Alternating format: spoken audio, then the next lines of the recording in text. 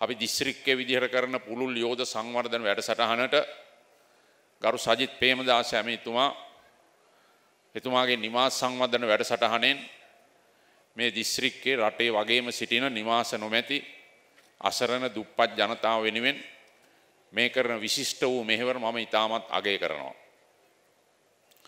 එතුමා අපේ ආණ්ඩුව තුළ සිටින දක්ෂ ඇමතිවරෙක් අවංක ඇමතිවරෙක් සජිත් ප්‍රේමදාස කියලා කියන්නේ දේශපාලනේ දූෂිතෙක් නොවේ.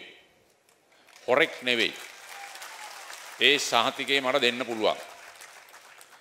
මම මේ රටේ ආණ්ඩු ගණනාවක ඉඳලා තියෙනවා.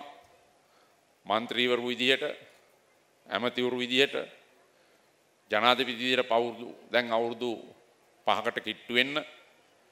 ඒක නිසා ඉදා මෙදා කාලය තුල මේ රටේ පහුගිය අවුරුදු 25ක 30ක ගත්තොත් අවංක ඇමතිවරු කවුද අවංක දේශපාලඥයෝ කවුද කියලා මම දන්නවා කියන්න. ඒ වගේම හොරු වංචාකාරයෝ දූෂිතයෝ මිනිමරුව කවුද කියලා කියන්නත් මම දන්නවා. ඒ නිසා ඒ තුල මේ රටේ සාමාන්‍ය පොදු මහ ජනතාවගේ සිතුම් පැතුම් වලට ගැළපෙන සාමාන්‍ය ජනතාවගේ අදහස් හොඳින් හඳුනන මහ පොළොවේ පය ගහලා යන දූෂණයෙන් තොර අවංක හොඳ ඇමතිවරයෙක් සජිත් ප්‍රේමදාස කියලා කියන්නේ.